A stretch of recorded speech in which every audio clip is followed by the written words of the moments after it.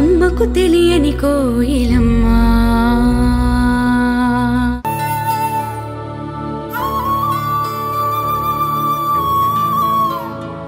ప్రేమ్ అమ్మతో కలిసి పండుగ చేసుకోవడానికి మంచి ఐడియానే ఇచ్చావు.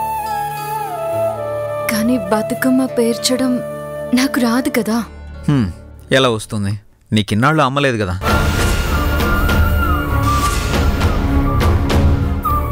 అవును కదా.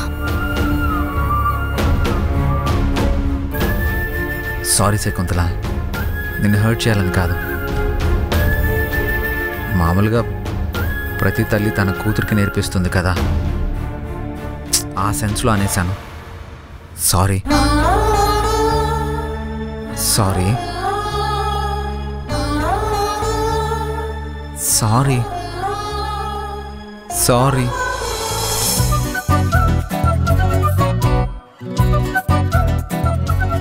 అది సరే గాని ఇప్పుడేం చేద్దామో చెప్పు.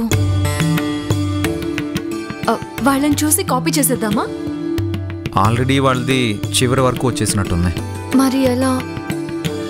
మా ఇంట్లో ఆడపిల్లలు లేనందుకు మా అమ్మ నాకు నేర్పించింది. అంటే ఇప్పుడు నువ్వు నాకు నేర్పిస్తావా? Yes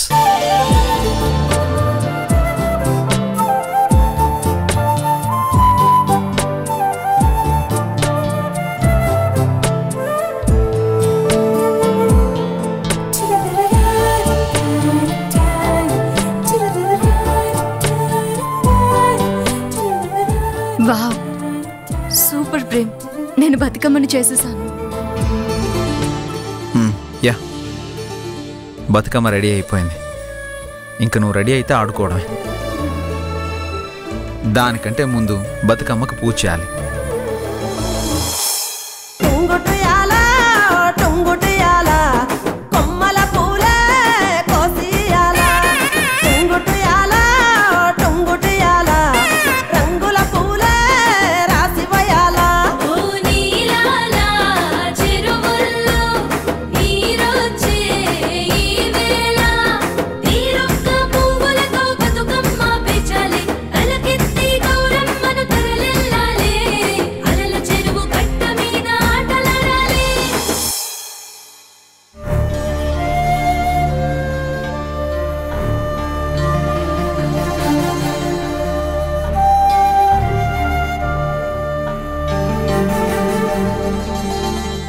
శకుంతల ఫస్ట్ టైం అయినా చాలా బాగా చేసింది కదా అంకుల్? బయలుదేరుతాం పదండి. ఆంటీ మీరేదో మర్చిపోయినట్టున్నారు? లేదే అన్నీ సరిగ్గానే ఉన్నాయి. అది కాదా ఆంటీ?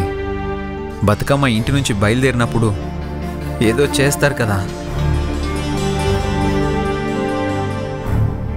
ఓ మర్చిపోయాను.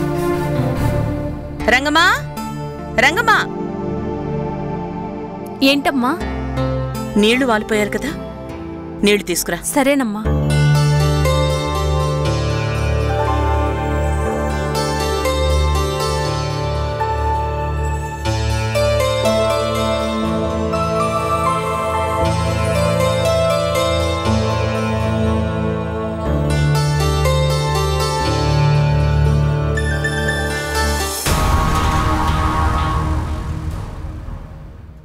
నీకు మనశ్శాంతి దూరం అయ్యే రోజు నీ పాపం పండే రోజు దగ్గరలోనే ఉంది.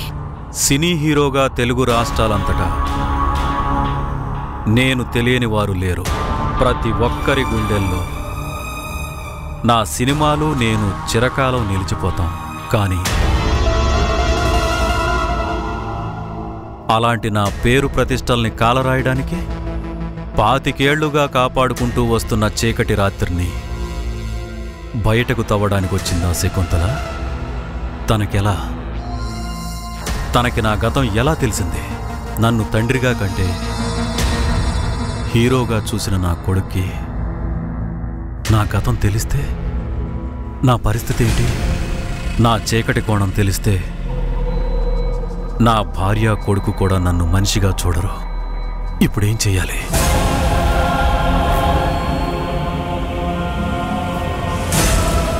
ఆ చీకటి రాత్రిలో నేను మాత్రమే లేను. ఈ గతం బయటకొస్తే మా ముగ్గురి జీవితాలు రిస్కులో పడతాయి. మూర్తికి కాల్ చేస్తాను.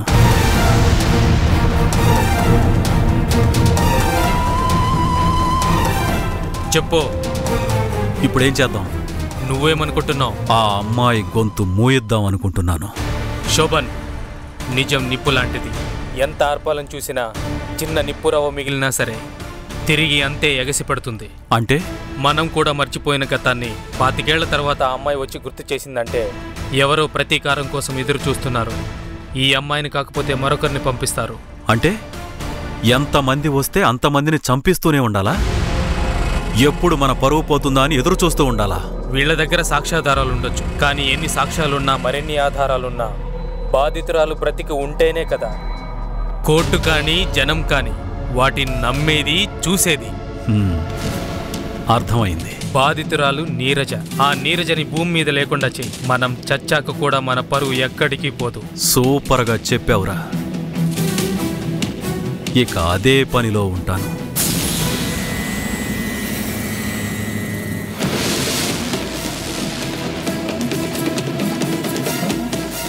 ఒకరి ఫోటో డీటెయిల్స్ పంపిస్తాను. రేపటి సూర్యోదయం తను చూడకూడదు. Okay sir.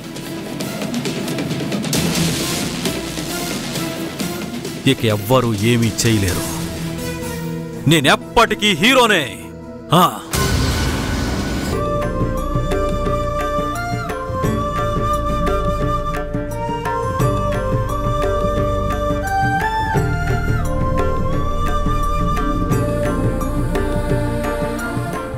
Hello madam.